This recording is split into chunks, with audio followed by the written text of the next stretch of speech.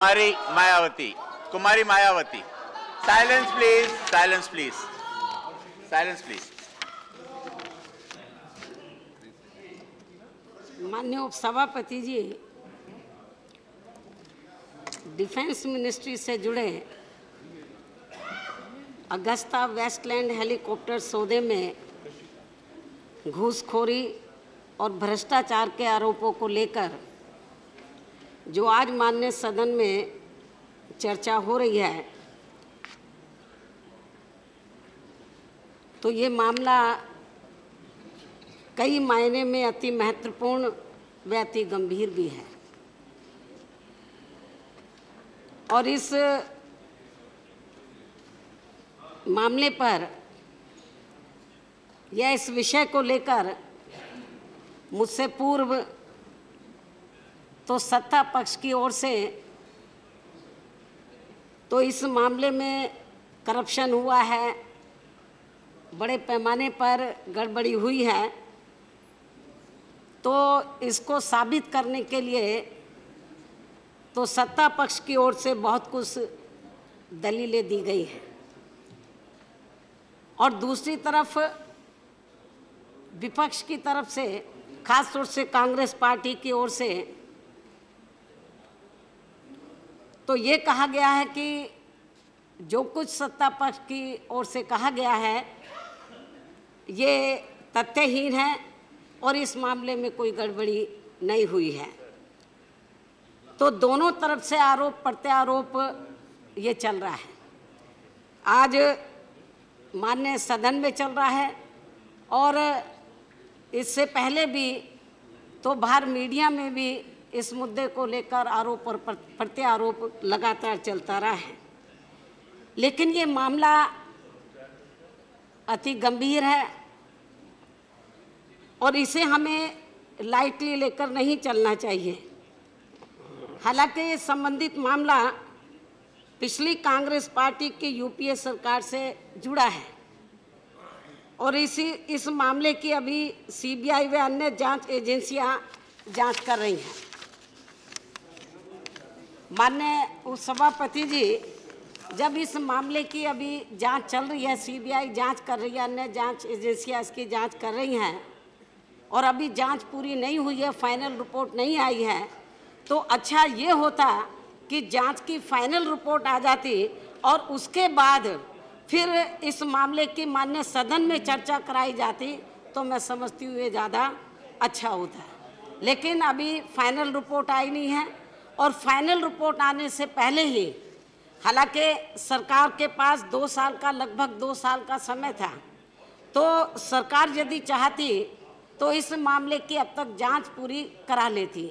और जाँच कराने के बाद जो भी फाइनल रिपोर्ट आती, तथ्य जो भी सामने आते, इसके बाद यदि मान्य सदन के अंदर चर्चा होती तो मैं समझती हूँ कि ये ज़्यादा उचित होता।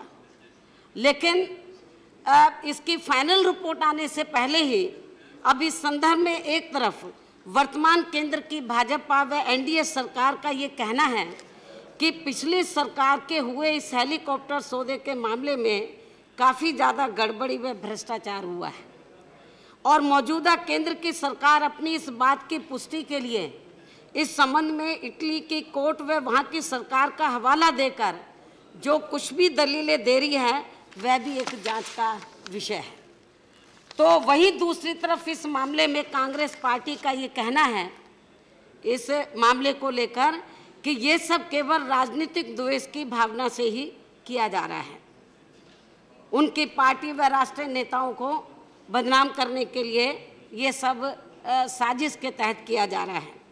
जबकि इस मामले में देश की जनता सही मायने में इसकी पूरी सच्चाई जानना चाहती है।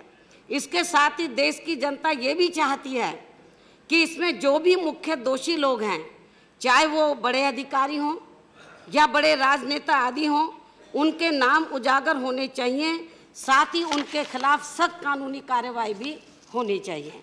लेकिन यहाँ हमारी पार्टी का ये भी कहना है कि इस मामले की वर्तमान केंद्र की सरकार द्वारा सीबीआई व अन्य जा, अन्य जाँच एजेंसियों द्वारा जो भी जाँच पड़ताल कराई जा रही है तो वह पूरे तौर से निष्पक्ष व सही होनी चाहिए और समय से होनी चाहिए।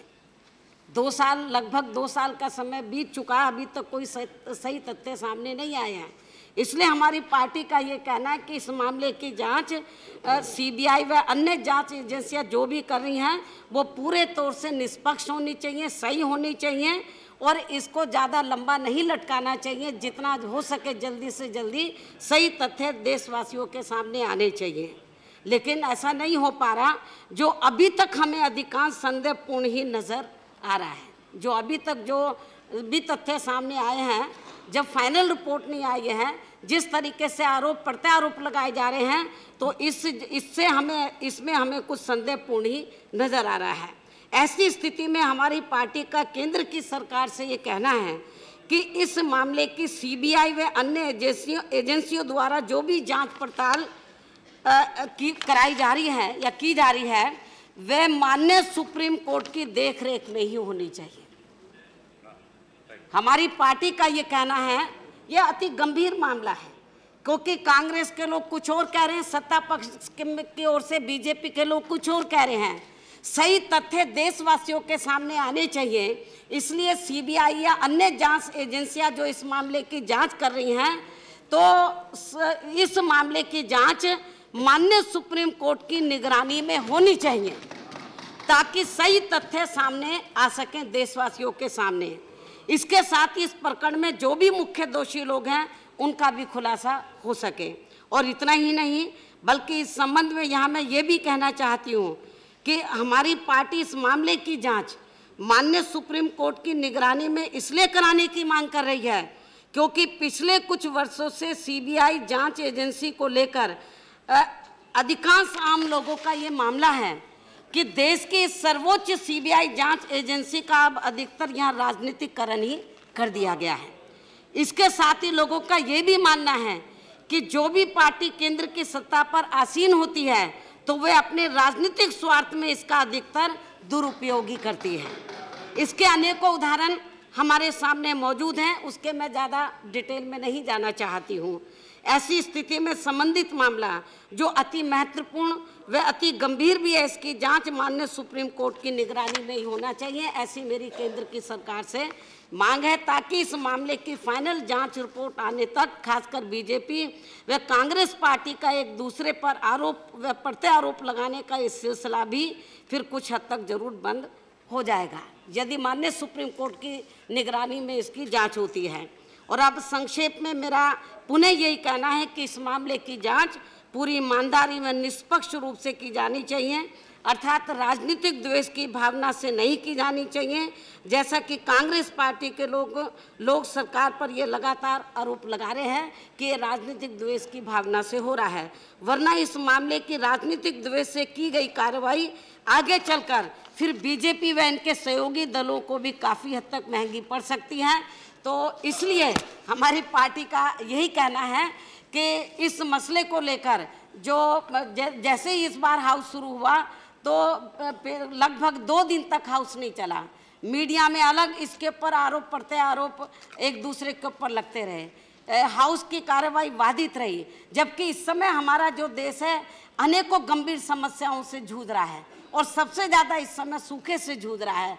पानी की विकट समस्या है। इन सारे मुद्दों को दरकिनार करते हुए, जबकि अभी सीबीआई ने कोई जाँच की फाइनल रिपोर्ट भी नहीं दी है और इसको लेकर हाउस की गति हाउस की कार्रवाई को रोका जा रहा है। ज़रूरी मुद्दों से ध्यान हटाया जा रहा है। तो मैं समझती हूँ ये ठीक नहीं है। इसमें हमें राजनीतिक बू नज़र आती है।